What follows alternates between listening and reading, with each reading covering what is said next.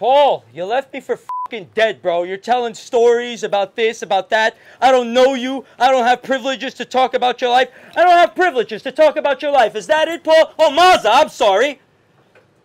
It was back when I fucking met you. You were PJ. You know what I'm saying? Right. So I don't have the privilege to talk, but I had the privilege to bail you out of jail. Your mother was standing right there. I was standing right here. I looked at her. She looked like this. I had to pull out my credit card out of my pocket. I was 21 years old. Maybe you were 25 years old, bro. And I bailed you out of jail with my own money. You didn't have a single family member there, bro. You tell me I don't know who you are? That was fucking 15 years ago, bro. Was that my only day I met you, Mazza? So, listen. Paul, I'm sorry. I apologize for my anger issues, bro. But there's a fucking knife sticking out of my front right here. It's making me fucking angry, right? So he manipulated five mics. He's doing this, he's doing that. Bro, guys, I don't really even want to hurt Paul. But if I have to, I have to, man. Unlike five mics, I don't use my fists, bro. My mind is my weapon. Don't fucking sit here and threaten me, bro, and tell me about streets and murder, bro. I'm handling my fucking business. You shitted on my fucking company because you got brainwashed by Mazza or Paul or PJ, whoever the fuck. This man is a man I knew for a long time. I find it startling, bro, how he left me for dead, and so will you. And why? Just wait. Be patient, bro. Five Mics bought this piece. He's wearing it right here. He wore it in a fucking video. Paul saw him. He knows what the fuck I'm doing. Who made this piece, bro? Yeah, you made this piece because you're a young fucking dude, just like Paul was. You're under my wing. Take a look over here about the culture, bro.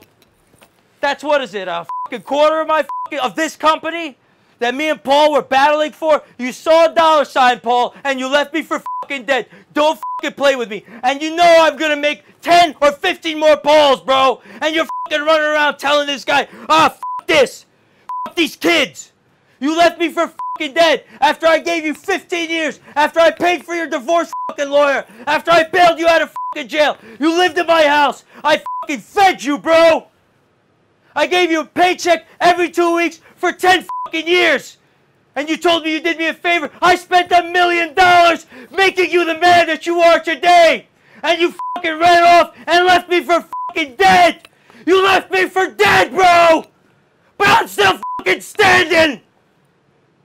To tell me that I didn't fucking do what it is. And you're scared of him. And you used this fucking guy. Hey, bro. Hey, listen. Tell me if it's, it's not correct. Yo, man, you got a bunch of kids making your jewelry, bro?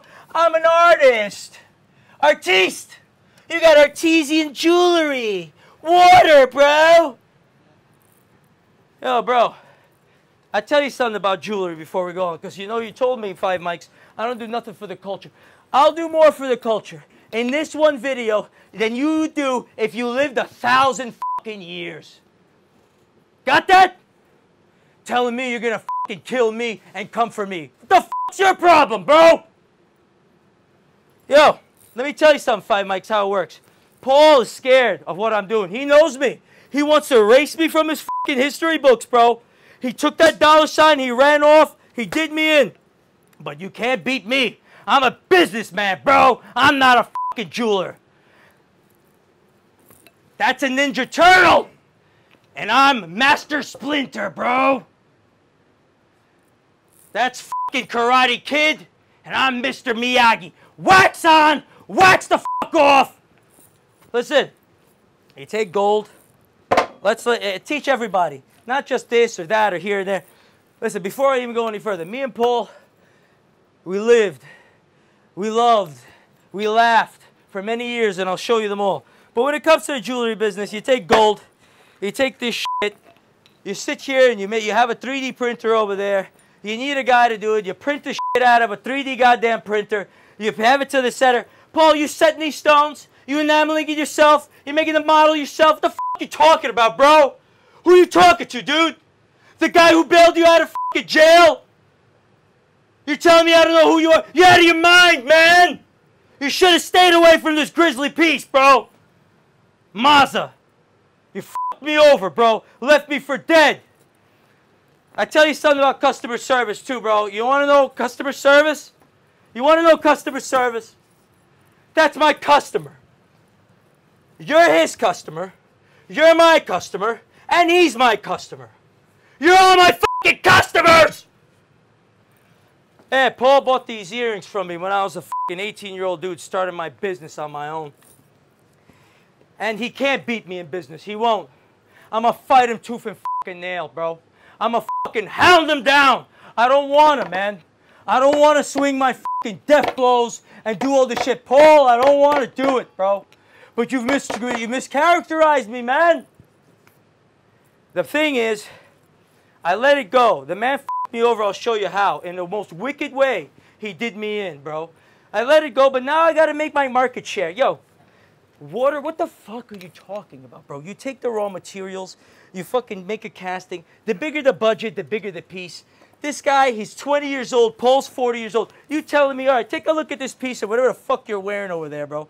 And you telling me, bro, that he's not in 20 fucking years gonna make this shit, or two with me backing him up, or 10 more Pauls, or Mazzas, or whoever the fuck, bro.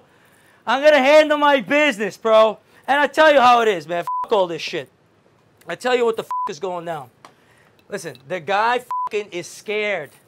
He's scared of what I'm doing. He ain't gonna have all that Mazza shit. You stole it, bro. You left me for dead. You told me a lot of shit, Paul.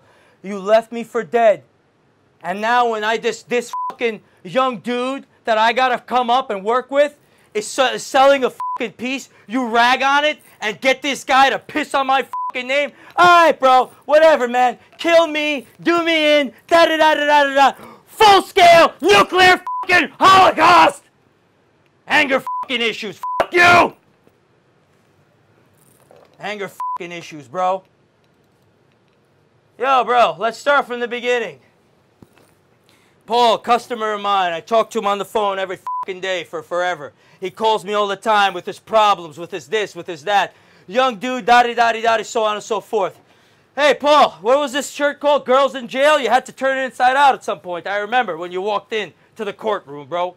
He sit here, you got fucking ripped, so on and so forth. Me and him were best buds. Lottie dotty, dinner. Paul never fucking pays. I'm starting a fucking business on my own. Paul's hanging out. We love each other. We're friends. We do everything we can. We sit together. He fucking go to whoever the fuck knows.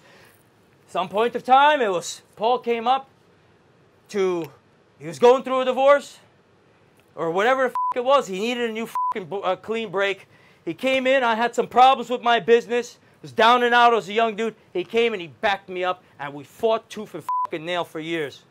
We fought tooth and nail for years. He's making pieces. He's growing out his fucking hair. I'm growing fucking old before your very eyes, bro. The man says he doesn't know who the fuck I am. He's fucking sitting here. We, I wake up. We drink some water. We go to work. We work for 12 fucking hours. And then we come back home. He's on the couch and we're trying to get to the hustle. We're in a pit, a poverty pit. Not doing fucking gangster shit. Not doing bum shit, bro. Not doing fucking illegal shit. Just hustling, building a business. And I figure out a way to get Paul over the poverty line. He put his faith in me. And I returned the favor. I put my faith in him. I took him up. I put him on my shoulders. I spent a million dollars, bro. I deaded myself to lift him up and fucking make him Mazza or Paul. Get him a long list of clients and every fucking thing he could imagine. And he saw the dollar sign and he left me for dead after 15 fucking years of business, man. And fucking friendship, bro. Growing out his fucking hair and doing what it is. But that's all good. Paul's gonna tell you this, Paul's gonna tell you that. You ain't gonna beat me, Paul. You never will. You never could, and you never fucking will. I fucking uh, babied your ego for fucking 15 or however many fucking years, bro. Because you were living in my home and you were down and out, and I was your guardian fucking angel. I did everything I could. I did everything I fucking could, bro. And you stabbed me in the back in the end everywhere. And I'm gonna fight tooth and nail. I will fight tooth and nail, bro. So this is how it went. This is real business, right? Let's see how it goes. Let's see what I'm doing here with these guys. Take a look at them real quick. Now right back to to me, and let's watch what the this is. Our Listen- gold chains are as good as cash. Visit the site by clicking the link in this post and check out our entire selection. You could give me a call personally. My name is Paul. I'll be My name is Paul. more than happy to help you out and get you the piece of jewelry that you need. All right, Paul. Now you try. Our gold chains are as good as cash. Make sure you go to traxnyc.com and check out the large selection that we have available. My name is Paul. I want to help you directly. Give me a call, traxnyc.com, and make sure you click on this post. What was that website? .com and make sure you click on this post to go to the website. All right, almost there, Paul. You almost got it. Listen, I did business with this man for 10 years. I can't even describe the fucking way this guy left me for fucking dead, bro, after all this shit. But I'm gonna try. I'm teaching, I'm building, we're experimenting. Listen, I'm not never gonna take anything away. He was there, he backed me up all the way. A hundred percent, man, and I took care of him. Of course, I took on all the expenses. I gave him a paycheck every fucking two weeks. I handled everything I had to handle for my fucking friend. I did, I did, and I did. And the years went on, and we're building. And then I decided to make him a big custom jeweler, bro. I wanted to make him a fucking custom jeweler. I wanted to put my faith in, in him, like he put in me. I wanted to see if he'd fuck me over. And he did. What happened? Well, he fucking sat there one day. I was in Tokyo. I went for a trip, my only vacation or however much. He was making good money. He had the big clients, and he said, "You know what, bro? F- Max." And he blocked me, man. And he fucking deaded me, bro. And he pretended I didn't exist. And now he's telling stories of this and stories of that. I got stories to tell. Hey, check this out, man. Right? Let's get be smart, bro. You don't, you be smart, bro. You're trying to fucking kill me. The f- did I do to you, bro? Fucking telling me to be fucking smart, but fuck you, bro. Oh, sorry, this page isn't available. Mazen, you you blocked me, bro. After all that time, after everything we fucking went through with our backs against the wall, you fucking left me for dead. You fucking disappeared. You blocked me. You came back. You forced me to buy my own shares in my company and fucking record the conversation. So listen, that's that. What's happening? I have to take my market share back, bro. This jewelry shit is easy to make. If he can make this grizzly pen, I'm trying to explain this to the culture. Every single guy here has made a piece. everybody who made a piece of custom jewelry, raise your hand. Guess what, bro? I'm not a jeweler. They are. You are. But I'm a businessman. I gave you a paycheck. I took care of you. I guided you. I did everything I could for you, bro. And you stabbed me in the back. And I don't want to do anything about it, man. But you're forcing me because you can't even sell a grizzly pendant, bro, without somebody fucking shitting on my name. You're jealous of this guy? Threatened? You should be. You stole your prize. You, you backstabbed a friend, bro. Somebody who came into your life and where your family stood, I stepped up. Where you were alone and backed you up. And how did you reward that kindness, bro? You put your faith in me, I put my faith in you. You didn't fucking invest a penny in my business. I gave you a paycheck. All right, well, that's that. So, what happened? Well, we'll find out in part two.